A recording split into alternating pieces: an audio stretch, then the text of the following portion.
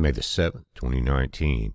Guys, you're looking at uh, the SDO. It's a satellite that gives us Earth facing perspectives of the sun. Notice your timestamp on the 4th as this starts and goes up until the current images.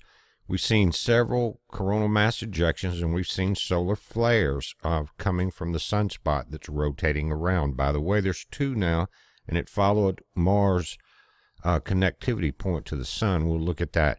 Now we have two sunspots. There's actually almost a third one trying to form in the middle. But right now we have two very active, and you see these pops and these giant arcs.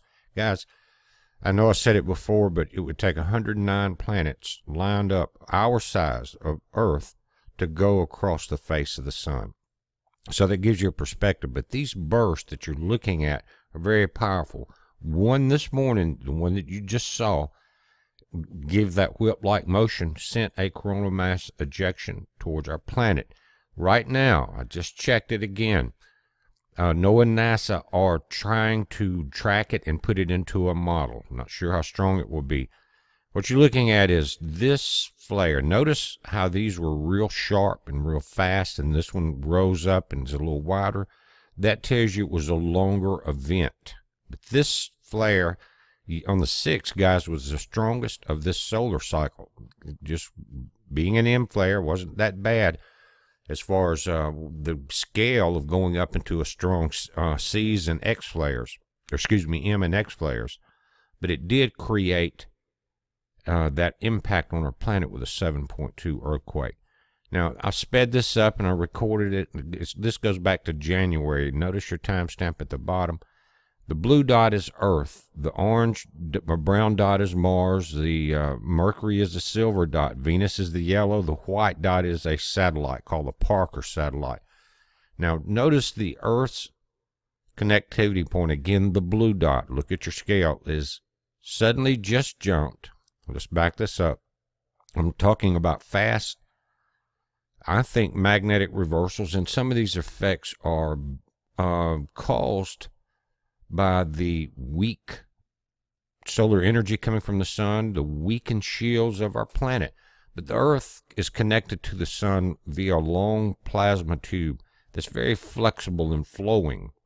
Now, notice here in 19 hours, the connectivity point of the Earth went from the south pole of the sun to the north pole of the sun.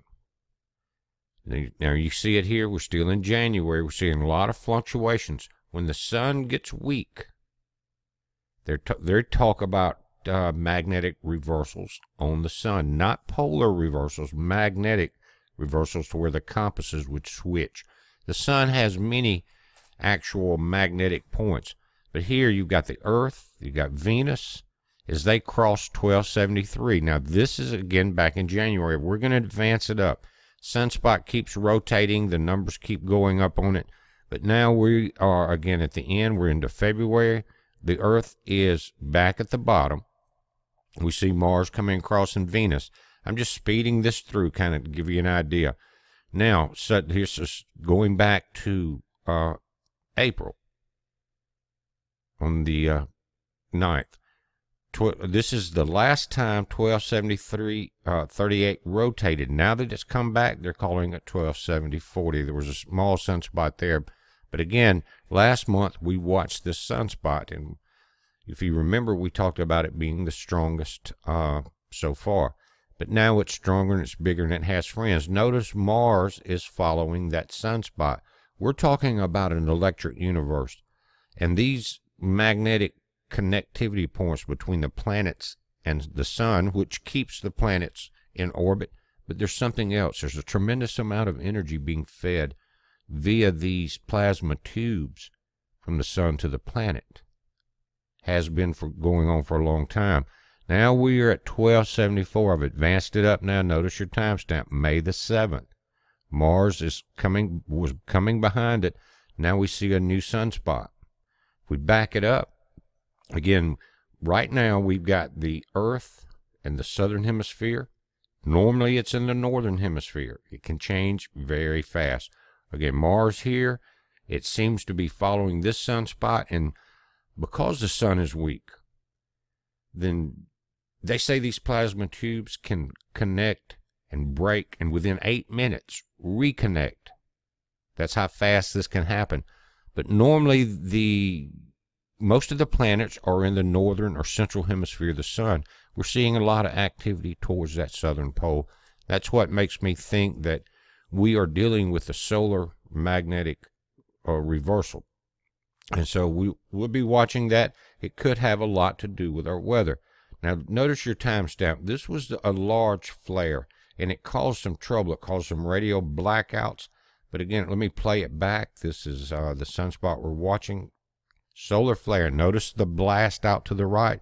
Yesterday morning, uh, they started watching, or excuse me, this morning they started watching that. There, that would be the coronal mass ejection, which is a layer or surface section of the sun that explodes.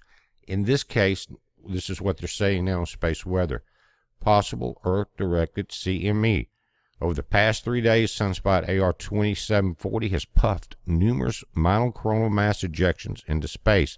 Until this morning, none were Earth directed. However, a faint halo CME that left the sun during the early hours of May 7th um, may be the strongest of the current uh, solar cycle.